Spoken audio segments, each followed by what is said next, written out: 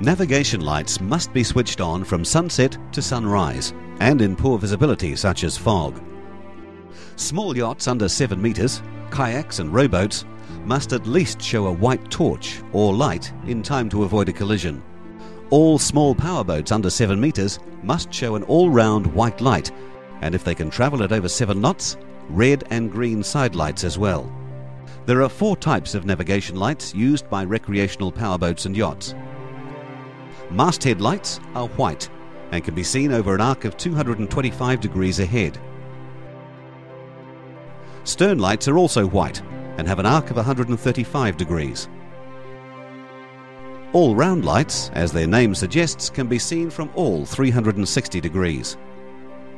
Side lights are red on the port or left hand side and green on the starboard or right hand side. They can be seen from right ahead through an angle of 112.5 degrees. All boats that are moving show side and stern lights. Boats using an engine also show a masthead light at least a metre above the side lights.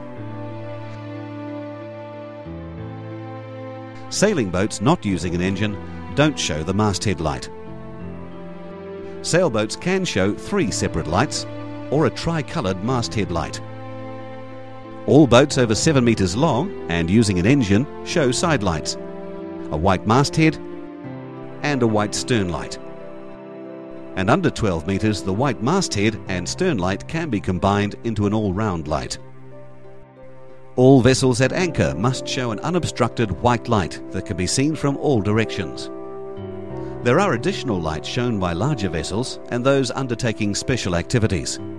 A book such as Safety in Small Craft will explain these combinations. Keep it handy on board. A simple tip for all pleasure boat operators keep well clear of all large vessels displaying additional lights at night.